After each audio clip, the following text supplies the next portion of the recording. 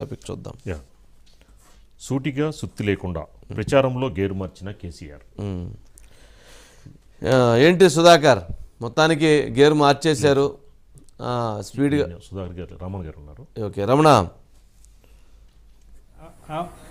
అంటే ఎక్కడ ఎప్పుడు కూడా సుత్తి అనేది ఉండదు. ఎప్పుడు కూడా కేసీఆర్ గారు మాట్లాడితే సైల స్ట్రైట్గానే ఉండిద్ది కేటీఆర్ గారు మాట్లాడిన స్ట్రైట్గానే ఉండిద్ది హరీష్ రావు గారు మాట్లాడిన స్ట్రైట్గానే ఉండిద్ది కవిత గారు మాట్లాడిన స్ట్రైట్గా ఉండిద్ది. ఎక్కడ కూడా సుత్తి చెప్పే జనానికి బోరు కొట్టేటువంటి పరిస్థితి ఉండదు.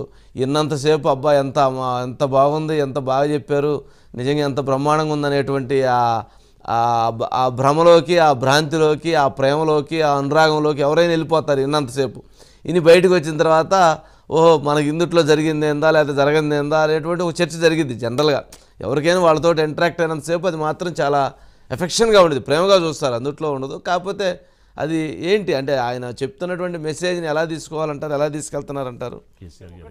వంశీ గారు మొదటి నుంచి కూడా కేసీఆర్ చాలా వాక్చాతుర్యం కలిగినటువంటి నాయకుడు అని చెప్పాలి. ఆయన టీడీపీలో ఉన్నప్పుడు కావచ్చు రాజకీయాల్లో ఉన్నప్పుడు కావచ్చు ఆ తర్వాత తెలంగాణ ఉద్యమం సమయంలో అది మరింత పదనెక్కిందని చెప్పాలి. అంటే ఉద్యమం సమయంలో జరుగుతున్నటువంటి రాజకీయ పరిణామాల రీత్యా కావచ్చు ఉద్యమ సమయంలో ప్రజల నుంచి వివిధ ఆ, వర్గాల నుంచి తీసుకున్న ఫీడ్బ్యాక్ కావచ్చు ఆ తెలంగాణ నేటివిటీ ఆ పదాలు పదజాలం సమయం సందర్భం అనుగుణంగా మాట్లాడడం ఆ పద విరుపులు తర్వాత ఎదుటి వాళ్ళపైన కౌంటర్లు వేయడం అనేది కూడా కేసీఆర్కు అది వెన్నతో పెట్టిన విద్య అంటాం కదా అట్లా కేసీఆర్. అదే లెగసీ వాళ్ళ ఇద్- ఇద్దరుకి వచ్చింది అంటే కొడుకు కూతురుకు వచ్చింది కేటీఆర్కు కవితకు వచ్చింది సేమ్ టైం హరీష్ రావు గారికి కూడా వచ్చింది. ఎందుకంటే కే కేసీఆర్తో పాటే ఆయన రాజకీయ ప్రయాణం అంతా సాగింది కాబట్టి ఎప్పుడు ఆయన పక్కన ఉన్నాడు కాబట్టి నేర్చుకోవాలి. ఈ నలుగురు కూడా చాలా జనం ఆకట్టుకునే విధంగా జనాన్ని అట్రాక్ట్ చేసే విధంగా వాళ్ళు చెప్పదలుచుకునే చెప్తారు.